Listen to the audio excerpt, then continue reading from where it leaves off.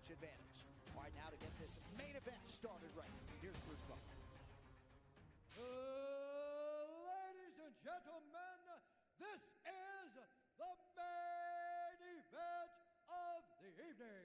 Our three judges scoring this contest at Octagon side are Ben Cartlidge, Mark Collette, and Clemens Werner. And when the action begins, our referee in charge of the Octagon, Herb Dean.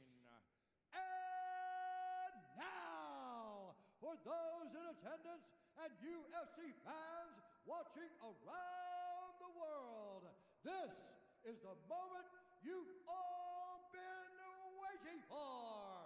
Live from UFC Fight Island in Yas Island, Abu Dhabi. It's time! Five rounds in the UFC featherweight division. First, fighting! Out of the blue corner, a mixed martial artist holding a professional record, 14 wins, two losses. He stands 5 feet 7 inches tall, weighing in at 145 pounds. Fighting out of Haleiwa, Hawaii, presenting the number 10 ranked featherweight contender in the world, 1050K Ige! And now introducing his opponent, fighting out of the red corner, a freestyle fighter holding a professional record, 21 wins, 4 losses. He stands 5 feet 11 inches tall, weighing in at 146 pounds. Fighting out of Methuen,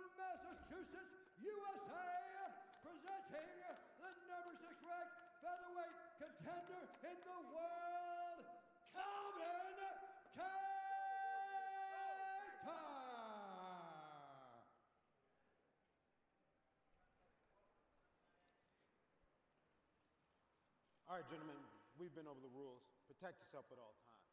Follow my instructions. We're going to keep it clean. Touch gloves, let's do it.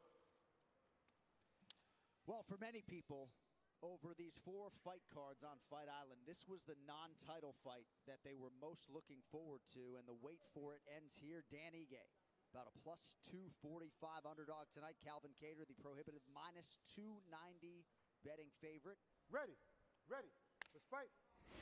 Here we go with the headliner. This fight clock is brought to you by Modelo. Calvin Kattar is in blue. Dan Ige is in white. Here we go. Here we go indeed, John. As we were saying on the pre-fight show, for my money, I think Kattar, he's got to go first. Ige is, he's got a tremendous ability at closing the distance and then firing off a few combinations, then gliding off on the angle and not being there to be countered. If Kattar uses his jab, keeps him at bay, forces him backwards, that's going to cause a lot of problems for Dan Ige.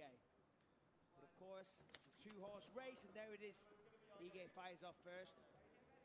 I almost feel like Kattar is just waiting to kind of get the timing of Ige. See what is he going to throw? Is he going to close that distance fast? And you see how fast, just like you said, Mike, that Ige did that. That right hand, left hook, nice shot to the body.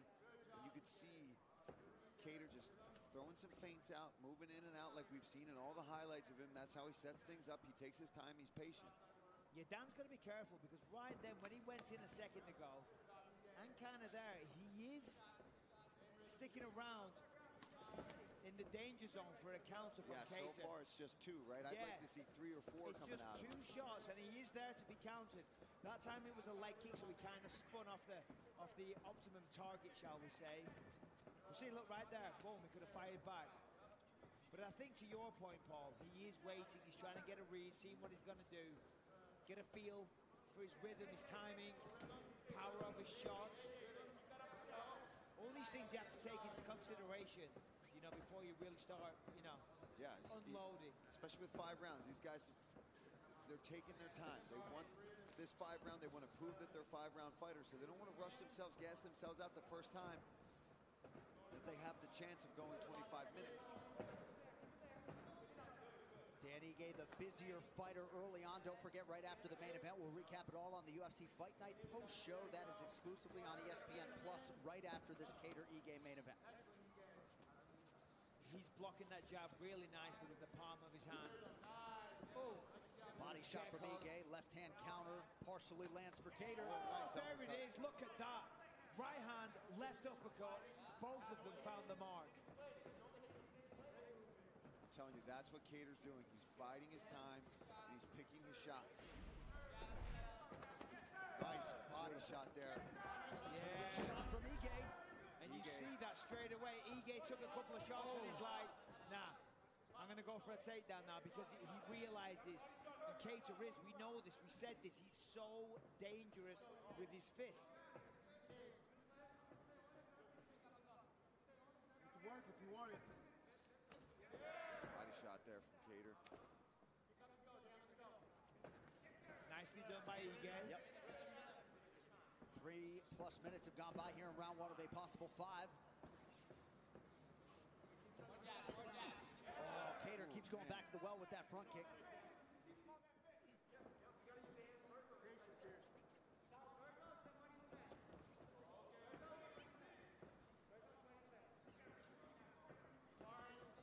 Well, the champion in this division, Alexander Volkanovski, watching with a focused eye tonight.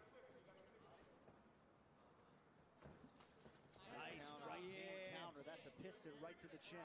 Real nice counter. Oh, good body shot there from Ige. Both these guys so good at countering each other. Ige lands to the body. Nicely done. Gonna watch the up kick. Man, and Kattar's so good with that sharp, straight right from, from this position when he's got opponent grounded. It's like a laser beam. Look at that, straight. He doesn't swing big hooks from that position. He goes straight down. Oh, Oh, body so Ige good. comes back with one.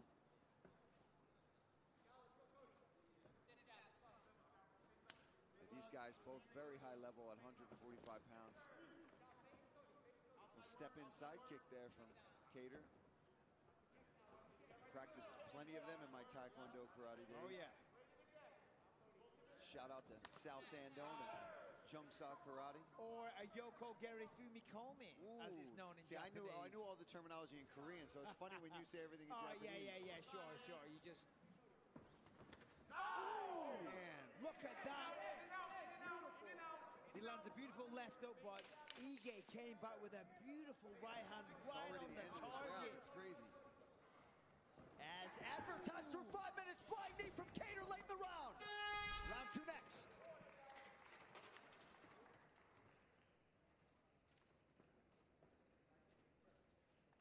Grab a seat. Grab a seat for me. Good. Slowing it down. Three deep breaths, please. Just taking. I know. Listen to me. Your Tavares is there. I need you sliding off the lead hand a little bit more, setting up that calf kick. The one you landed was beautiful. Okay, listen. Every time he's ending combinations, his left hand's coming to the body. You understand? Yeah. So we need to recoil off that to an inside return. All right. And if you get fucking taken down, get your ass back up. Okay. All right, Yeah. let's go. Pick up and go. Don't let him get those. Let's work in those little snatches, That monkey bucket. swings. Yep. Beats it up. Okay, more jab. Monkey jab to his nose. snatch. Set it up. Good. Start looking at one body. Here, let's take a look at some of these body shots. That's a straight right from Ige. Both these guys back and forth attacking each other. Look at this nice scoop right to the liver there. But Ige eats it. Big body kick, but K- Kattar catches it, does a great job, gets him down to the ground, and that's where he's been doing some of his best work, some of this ground and pound. Let's fight. All right, here we go, round two. Tremendous corner work in Ige's corner there. So matter of fact, nice and calm. Told him everything he needed to hear. Said if he fires to the body, you got to counter back, and if he takes you down, I agree. You got to get up. You can't hang out down there. You, the danger is when you try and get back to your feet so quickly. Yeah, listen, you might eat a shot, but more than likely you're going to eat some punches anyway. You got to get up carefully. You can't be overly reckless. But you've got to get back to your Yeah, feet, do yeah, a technical get up because you know what I mean, Paul. Yeah, and absolutely. And we're talking about, we've looked at the stats of Ige. and One of the big differences between these two athletes is that Ige spends a little bit too much time on his back. And that's Yes. because of that jiu-jitsu, right? He trusts in it. Yeah. But with a guy like Kattar, he's not going to mix that up with you. He's going to stay on top and punch you in the face. And like you said, Mike, if you're going to get hit in the face anyway, you might as well do it getting back up to your feet. Correct. Nice body shot, followed up with a left hook from Ige. Yeah, he's mixing it up nicely. That's a good. Kattar using that jab now, starting to put that out as a feeler. He wants that laser beam of a right hand to land. tends to get going the more the fight progresses. The volume increases, he gets more comfortable, he takes his opponent's best shots, and then he realizes, listen, I can take these, and then he goes to work a little more. Certainly did that in the Barboza fight. And that's what Kattar's going to be careful of, right? Because it's a five-round fight, and if his cardio, if Ige's cardio is in a better state, and he just outworks him, he might not get the finish, but he'll certainly win a decision like that. Well, he dropped the first round on all three judges' scorecards against Yes. Barboza and went on to win that fight. We've talked about it. That's one of the things he does really well. Is he makes adjustments. He figures things out. Even if he's getting beat up a little bit, he finds a way back into the. That's invaluable, man. Having that ability to do that in this game is crucial. But look at Kattar really starting to snipe some of these punches, Yeah. looking like himself in there. Yeah, he landed clean there. A clean one-two right on the target. Ige took them though, you know. He, Big left Right hook from nose. Ige. Right on the nose, John. And that nose compromised still from the Jeremy Stephens fight. One of the more significant strikes from Dan Ige thus far. He's landed just 31%, but that one counted. And he's grabbed his nose again. Where you can see the blood starting to trickle. Yeah, that nose is bothering him. Three times he's grabbed it since that shot landed. Yeah, Ige. halfway through the second round. You got to think, Jab. yeah, and you see the blood starting to accumulate even more. Potentially broken I, I, I think there. it's. I think it was broken coming in, Mike. Because we asked him how, how's, how's the nose doing. He said, "We'll see."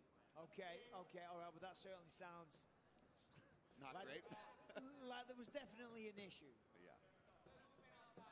Which means he probably didn't spar. He said he was sparring, I think, with a a, face cover, which. Oh, beautiful left hook there from Ige. That see, that's what I'm talking about. The speed throws a jab, right hook to the body, the left hook over the top, and then look at him, lateral movement, circling around the octagon. Yeah, that's something Ige does really well. Yeah. Ige moves side to side, and he, he uses that same movement then to land punches. He'll switch stances quick. Yeah, what, what Ige does is either all the way out to where Kattar can't catch him with kicks or punches, or he's all the way in. And when he's all the way in, he's throwing multiple shots, and then he exits out again. But Kattar is always one punch from getting himself right back into the fight. Round one was all his so far, Dan. What's, what's going on? And I'm not sure, I think he's just playing mind games. Yeah, he's starting to feel himself, and, and hard to blame him. Coming up on a minute to go here, round two. Beautiful jab from Kattar. Solid. Yeah, I think Solid that's what Kattar needs to get back to is just that jab. Touch it. Find your range. See, I like that. Dan Ige goes to the body, but that's not really what he wants. What he wants to do is get those elbows and those fists to drop a little bit from Kattar and then come over the top like that. See how he dipped and then misdirection, come over the top with the hook. Oh, there we go. Oh, that's it. And a big counter from Ige. That's, oh, Flying knee appeared to just miss Mike. missed. The point of the knee went right up the side of the head. That would have been lights out. Now, Kattar turning things around here, but at the end of the round, and he's had all the pressure. He's the one moving. Danny Ige explodes in, but so far, Calvin Kattar really pushing the pace, at least in the direction of where they're going, pressing him up against the fence. Highly competitive fight through two. We'll follow Calvin Kattar into the red corner. Hey. Hey, deep breath. So listen. We need more volume, right? that was a, that was a close round. The first round you definitely won. That was close because you're not throwing enough. When you're exchanging, you're going. We need more volume. Let's try to go first. He's when he goes first, he's you're blocking, but for the judges, right? So let's go first. Your jab's landing. Throw, land the jab and then mix in some Cody's and Burgos's. And you can't go to the body enough on this kid. He hates it. He already hurt him to the body twice. So here we see the big shot that caused the problem for Danny Ige's nose. He goes to the body, and then there it is. Just like he did against Barboza. Came over the top. Now we see some of the work from Kattar. Boom, a solid jab. Then he lays back, left, right uppercut to the body. Beautiful combination. But you see straight away, Kattar grabs the nose in between the exchanges. As the fight progresses, keep an eye on that nose. Round three is brought to you by P3, the official protein snack of UFC. They worked on the nose there, as you saw